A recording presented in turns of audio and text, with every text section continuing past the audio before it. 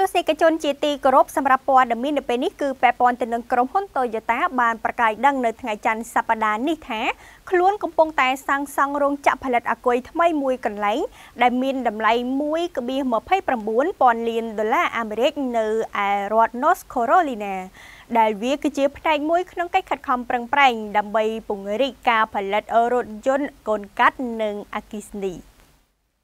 ក្រុមហ៊ុន Toyota បានប្រកាសដឹងនៅថ្ងៃច័ន្ទសប្តាហ៍នេះថាខ្លួនកំពុងសាងសង់រោងចក្រផលិតអាគុយថ្មីមួយកន្លែង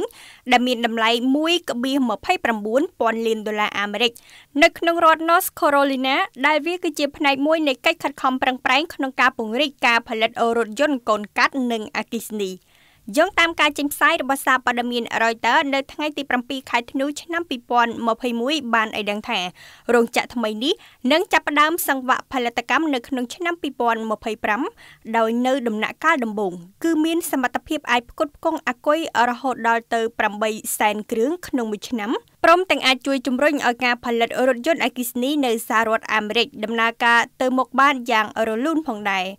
កាលពីពេលថ្មីថ្មីនេះក្រុមហ៊ុន Toyota បានប្រកាសដឹងថាខ្លួននឹងវិនិយោគទឹកប្រាក់ប្រមាណ13.5000លានដុល្លារអាមេរិក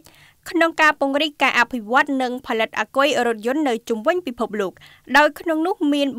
3.4000លានដុល្លារសម្រាប់ការវិនិយោគនៅសហរដ្ឋអាមេរិក។ គួរបញ្ជាក់ផងដែរថាដោយសារតែវិបត្តិកង្វះខាតបន្ទះឈីបជាសកលបានធ្វើឲ្យក្រុមហ៊ុនបច្ចេកវិទ្យានិងក្រុមហ៊ុនផលិតរថយន្តជាច្រើននាំគ្នាសម្រុកវិនិយោគទៅលើការបង្កើតបន្ទះឈីបដោយខ្លួនឯងដើម្បីកាត់បន្ថយការពឹងផ្អែកទៅលើក្រុមហ៊ុនដទៃនិងដើម្បីបំពេញតម្រូវការជាសកលផងដែរកម្មវិធីនេះឧបត្ថម្ភដោយ Food Panda ដឹកជញ្ជូនលើសពីអាហារ